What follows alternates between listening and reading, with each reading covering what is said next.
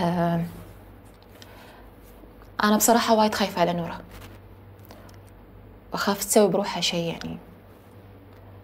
بصراحة أنا ما أشوف يعني في حل قاعد يصير حق حالة نورة وهي من سيء لأسوأ. فحنشو الحل؟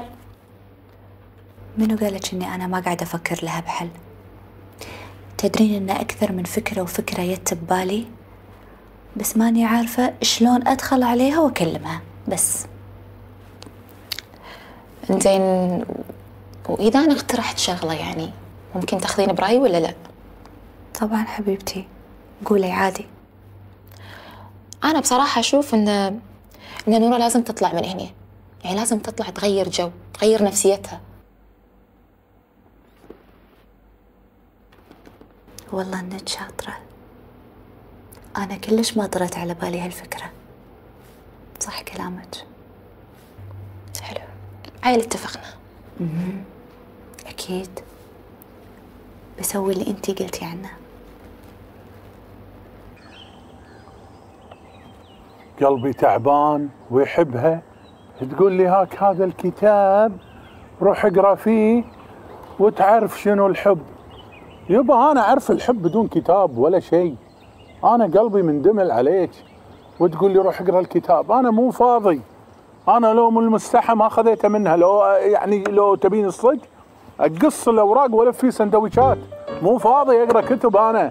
قلبي قلبي قلبي رشيك شو أسوي له أنا قلبي؟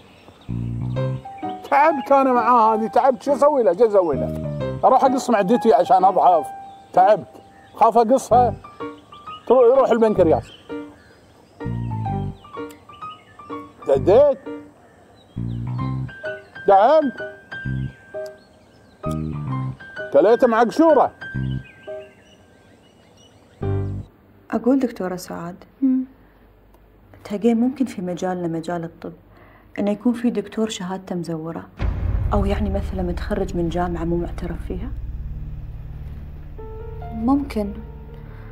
ما أدري بس أنت ليش قاعدة تسألين هالسؤال؟ ليش شاغلة بالك معاهم؟ ما لنا شغل فيهم. شلون ما شغل بالي.